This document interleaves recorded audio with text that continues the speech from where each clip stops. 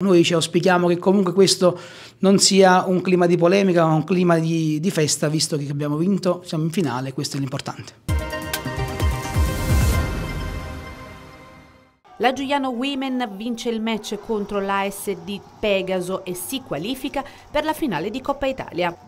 Il Pegaso è stata una squadra veramente ostica che ci ha veramente ingabbiato. Le ragazze che avrebbero dovuto giocare in casa allo stadio De Cristofaro si sono sfidate con le avversarie a Lusciano in un cambio di struttura all'ultimo momento. Con una nota la società sportiva Giuliano Calcio chiarisce le motivazioni del diniego all'utilizzo dell'impianto di Casacelle. La partita si sarebbe dovuta giocare al De Cristofaro anche come il sindaco al quale va il nostro ringraziamento, si era impegnato attraverso un decreto sindacale di mh, concederci il patrocinio morale e l'utilizzo dello stadio in maniera gratuita.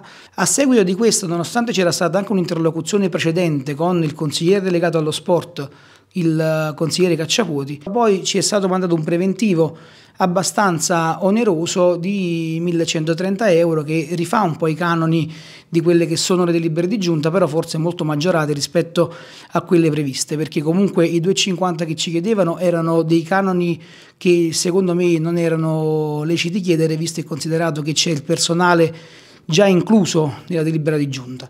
Al netto di questo il sindaco con grande impegno insieme alla sua squadra ha cercato di concederci lo stadio, però purtroppo eh, vuoi per le tempistiche, vuoi per altro, il Giuliano ha detto che non era impossibilitato diciamo, fare questa, questa concessione al, all'ente proprietario perché non aveva rispettato i termini della convenzione. Non ha detto di no a noi, ha detto di no comunque alla, al sindaco e alla città di Giuliano.